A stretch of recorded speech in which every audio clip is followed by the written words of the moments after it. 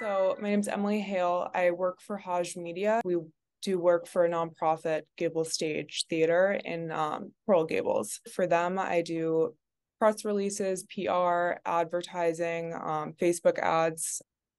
I would say a lot of what I was learning originally by myself, it was kind of bits and pieces. Like I felt like I was always missing the foundation. For example, the six pillars, the real strategy of going about it. It was just so skewed. I would know something that was easy, but then I wouldn't know the other easy parts of it. And then I'd know something more complicated, but I didn't like I kind of understood how to analyze the data, but didn't really get the point behind it. Like it just gave me a much broader understanding and just a base to start off on because um, I knew a lot of things, but then I also didn't know basic things. So also in terms of marketing, it's very similar where, you know, I again I didn't have that background. I knew to an extent because PR and marketing can be very similar and interrelated.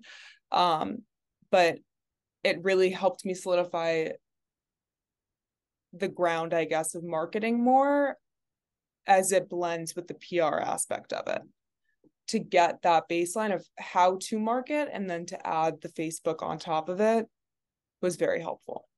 So it just gave me kind of the stepping stones I needed